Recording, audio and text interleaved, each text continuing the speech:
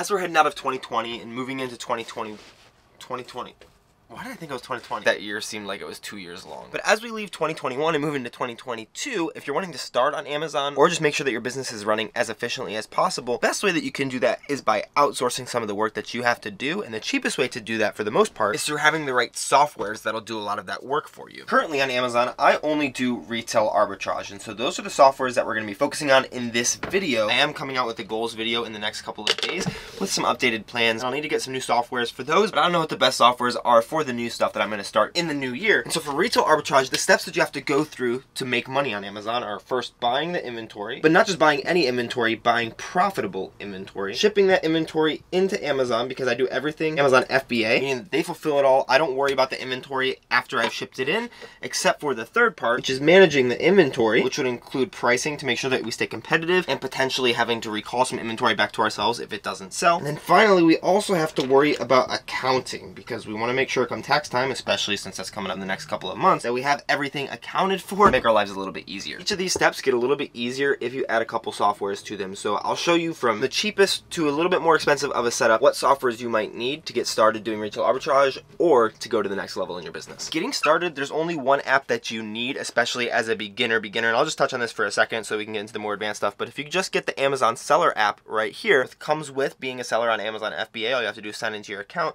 You'll be able to add new products and look up products in the stores by searching for them with this scanner. You can manage your inventory, manage your payments, and look at all of your orders all from one app. And this isn't built to be the most intuitive tool, which is why there are these other softwares that we can get and pay money for, which will help us to grow even faster. So let's first think about buying profitable inventory. And there are three pieces of software that I have for that, one of which I use for almost all of these. And so let's start by talking about that one. It's actually a software called Inventory Lab. This is what the homepage looks like, and I will have links for all these down in the description if you do choose to get a subscription. There are free trials for all of them, and I will get an affiliate commission, so you'd be supporting the channel at no additional cost to yourself.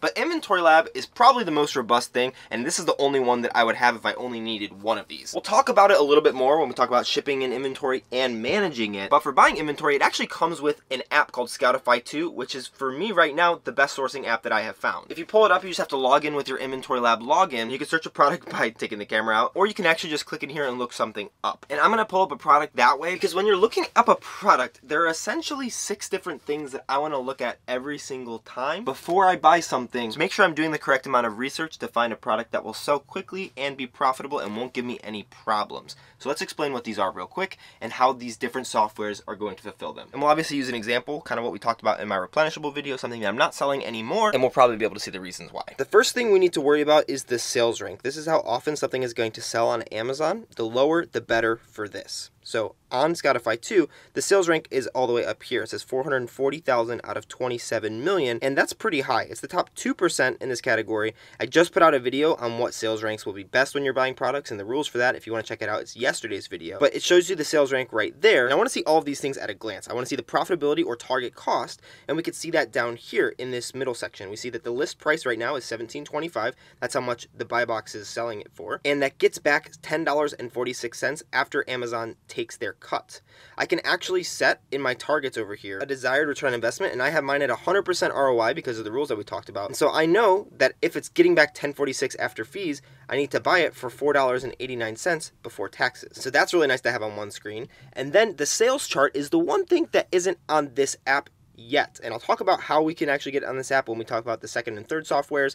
But the restrictions are also very important because you need to make sure that you're able to sell it on Amazon. I can sell this in new, use like new, everything except for refurbished condition. But when you're starting out on Amazon, you're not going to be able to sell a lot of stuff. And so having that button just at a glance is really nice. And if you're not able to sell something, you can just go back into the seller app, which you would already have. You can search something up and then you'll be able to apply to get ungated in it just from that app. I also want to see what other offers are on the listing. That's a great arrow, Anthony. Drawing arrows through a camera monitor is not good. And I can see that right now there's only one FBA offer. There's a bunch of other offers that are filled by merchant, and I can see the FBA is the lowest. So if I really wanted to get one of these higher prices, I could see how many they had go into research, Amazon listing, and you can pull up a lot of things through this middle research tab. And we'll talk about this one in a second, Camel, Camel, Camel. That's another software that's just built into this where it shows you what the average selling price is or the third party price over a set period of time. 19 1732, which means that this person for 1725 is probably on it for lower than what you could expect to get back from it, but since they are an FBA offer, you will be competing with them. And the last thing, which I actually don't have any solutions for myself right now, is the potential for IP claims. IP claims are essentially when a brand says you can't sell on their listing and you're infringing on their intellectual property as a seller on that listing, and so they'll hit your account, which is really bad on Amazon. There are some things like IP alert that I think you can get. I can check that for you. Personally, I don't have any, and I haven't felt an immense need to have one, even though I have gotten some IP claims. I just use some other things that we've talked about in other videos to make sure that I'm not buying inventory that has the potential to give me an IP claim, or just staying away from brands that other people have told me are bad. I don't think Scoutify 2, which is part of Inventory Lab, is the only thing that has all of these options, but it has them all kind of on one page, really easy to see. But that brings me to the second piece of software that I have, which is Scout IQ, and we'll get to the price of Scoutify 2 and Inventory Lab when we talk about Inventory Lab overall. This other app is this orange one, and I currently only have it for one reason. You remember this sales chart thing over here?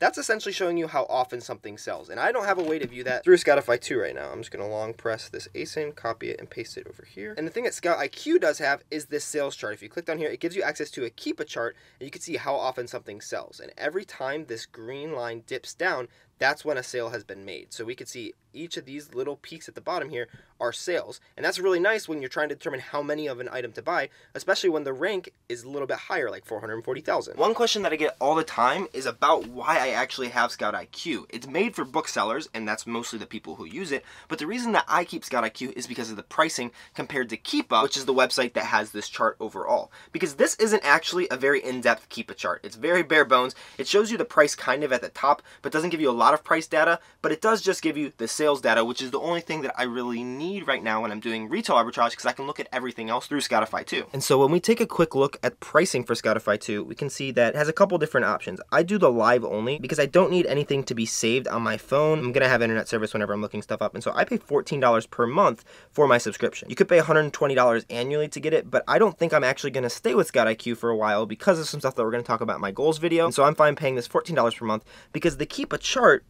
is a part of this overall Keepa. And the subscription for Keepa, if we look all the way down here, is 19 euros per month. 19 euros is equal to $22 right now, and that has fluctuated, been up as high as like $25, but I don't want to be paying $8 more than what I need to pay. But if you do want to get Keepa by itself, you can actually integrate it into Scoutify 2, and when I do do that, I'll show you guys how to do that. But let's stick on Keepa real quick, because it actually also has a Chrome extension that is free. You just need to sign into a Keepa account, which you can get for free. You just don't get all the premium data unless you pay the 19 euros a month. But once you download the Chrome extension, you'll actually be able to see some information on Amazon listings when you go online. I'm signed in right now, and if I scroll under here, that's the Keepa logo. So right under the listing, we're going to be able to see the price history. You won't be able to see the sales history, but if you scroll over here, you can see where the new price has been. 1664, 1552, all the way up here, 1665. And so that's why when we were looking at in the app, this wasn't as accurate as it is on the computer, but on Scout IQ, it has the API for the sales data.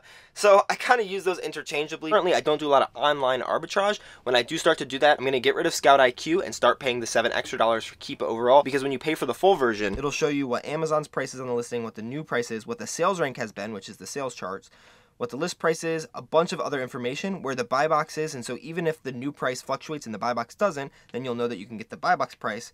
The offer counts from different people, the ratings, review counts. So much more information is available, but currently I don't need it because I don't do online arbitrage. I don't want to be whipping out my computer when I'm in the stores. Okay, so now we bought the products using Scoutify 2 and Scout IQ, and then we have to ship them into Amazon FBA and manage the inventory. And most of all of this is done for me with Inventory Lab. I do have a much more in-depth breakdown of everything you can do in Inventory Lab and Scoutify 2 actually. It's a 30 minute deep dive video that you can check out if you want to. But real basically, let's look at the pricing of Inventory Lab and the basics of what it does. So Inventory Lab is $49 per month. And with this software, you also get included Scoutify 2, which we already took a look at on the phone. You don't have to pay anything additional. Currently, since I know that I'm going to be using this for a long time, it's how I do all of my inventory shipments as well as managing of it. I just pay the annual subscription, so I pay $480 per year, which saves me about $108 every single year. But there is a 30-day free trial if you're interested, link down in the description, and you will support the channel for the first three months that you pay for the subscription if you continue on with it. Please don't feel the pressure to continue on with anything unless you actually like it. On Inventory Lab over here, we have the dashboard all the way up here. It'll give you a breakdown of your sales on a weekly basis or a monthly basis or a yearly basis over here. You can research inventory on Inventory Lab. And so this is kind of what I've done when I've dabbled around with a tiny, tiny bit of online arbitrage. You can actually just look up stuff. So if we just look up that Eagle Claw crappie, that'll pull up on here and it'll give us a lot of the same information on Scoutify too. We can see what the expenses are, our history with it, the storage,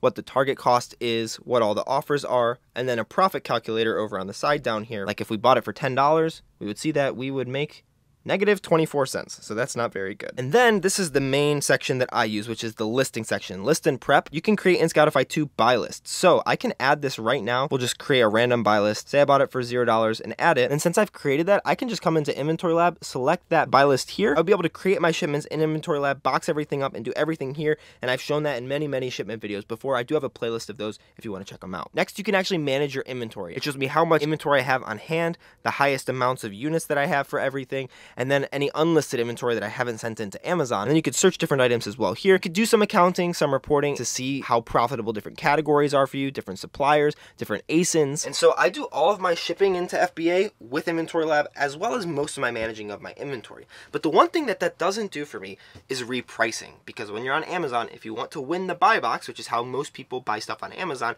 you're going to need to make sure that your price stays competitive. And because everybody else on Amazon is repricing their inventory, you're probably going to need a repricer too. Can just do it manually and go in and change your prices all the time. But probably when you get to 20 or 30 listings, you're not want to do that anymore. And so by getting one of these repricers, it'll make your life a lot easier. When I got started, I used this repricer called Reprice It. Currently, I don't really like it. It just raced my price to the bottom. You have to set your own rules, and it's honestly just not great. The only thing that I really liked about it was the pricing, and because I was cheap, that's the main reason why I got it. You can see this basic subscription here for up to 500 inventory items is only $10 per month. Up to 2,000 is only $17 per month. And so this is the plan that I kind of stayed with at $17 per month. But I honestly, because of the user interface of Reprice It, wouldn't even recommend that. And I would recommend going over to BQool. They're not a sponsor, but I do have an affiliate program with them. And they have a $25 per month plan that has a lot of those features, only up to 1,000 listings.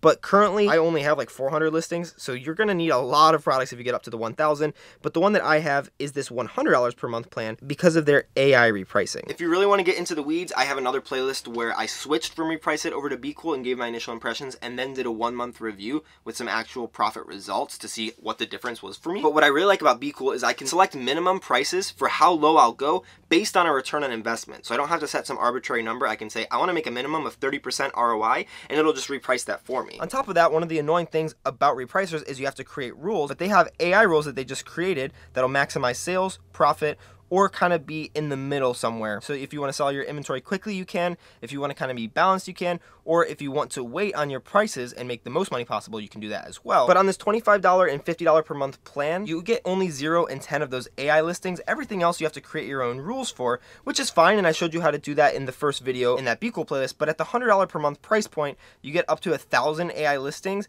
and you get instant repricing. Because with these, you have to wait 15 minutes for any change to take effect, and with these ones, they go instantaneously, which I think is really important because if you're on a really high volume listing and other people have instantaneous repricers, the second that you reprice after 15 minutes, they're going to reprice right after that, and then you're to have to wait another 15 minutes to get the chance at the buy box, whereas with this, you're constantly repricing, and it makes your life a lot easier. This repricer has saved me so much time and made me so much more profit in my business because I don't worry about pricing anymore, especially since I set automated rules. Once I create even new listings, it automatically pulls minimum and maximum prices for me and it'll sell out of them. And so maybe once every month, every two months, I'll go in and tweak some of my rules if stuff isn't selling at all. But normally my stuff sells fine and I don't have to worry about it. If you are interested in BQool for yourself, if you look in the description below, I actually have an upgraded free trial for you. Normally their free trial is on their $50 per month plan, but since I have a special deal with BQool, you can get their $100 per month plan for a 30 day free trial instead of the normal 14 day free trial. That way, even if you just need free repricing for a month, you can just get that and cancel it. But if you do stay on at any of these price points, you'll be supporting the channel. But free trial is linked below. You just have to reach out to support at bqool.com, letting them know that I sent you, and they'll bump up that trial for you. There are a couple more honorable mentions that I want to talk about in the managing inventory and buying inventory phases, and then we'll get to what I do for accounting very quickly. Let's take a look at these last two tabs. The first one is the AMZ Scout Sales Estimator. If you're looking up anything online to see how often it sells, or I guess you can do this in the store, you can look up based on the country, the category, so we can say sports and outdoors, we'll just use the same example, and then the sales rank, which was 440,000, and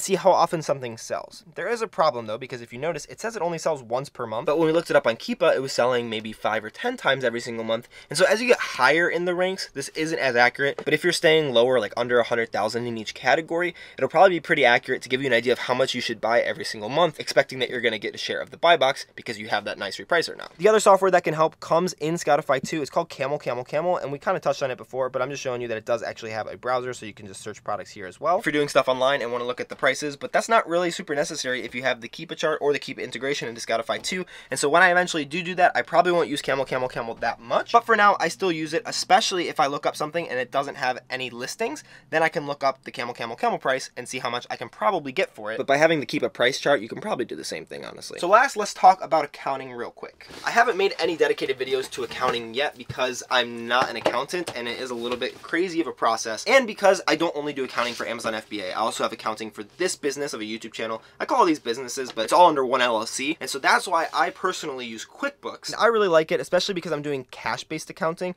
I use the $12.50 per month Simple Start business plan. This is an offer for three months. You get a free trial for 30 days, uh, and then it's normally like $25 per month, but that's enough for me. But if you really want to be bare bones and not worry about it, if you get Inventory Lab, it also has an accounting portion of it. If you go up here to accounting, you can go down to other expenses and actually add expenses. You can add mileage inside of it as well. But I personally prefer QuickBooks because as I'm growing my businesses and wanting to work with a CPA, they'll probably have QuickBooks integration more than Inventory Lab integration. And so that's why I personally use QuickBooks. There are definitely better people who've made videos about that before, but I am planning on getting something about how I use QuickBooks up there. I just don't know if I'm the best person to talk about that. So adding up the prices of all these subscriptions, about $22 for buying profitable inventory, just for Keepa is what we're gonna say, because we'll have that instead of Scout IQ, and that's the more expensive one. Shipping to FBA is $49 per month for Inventory Lab, and we also get Scoutify 2 included in that. Managing inventory, $100 per month for repricer is what I put. You can get the cheaper ones, but I personally like the one that I have. And accounting, $12.50 per month is $183.50 per month, so almost $200, which is a lot of money. But if you don't have any of these before, I guarantee that you'll save $200 per month just in terms of the time that you spend,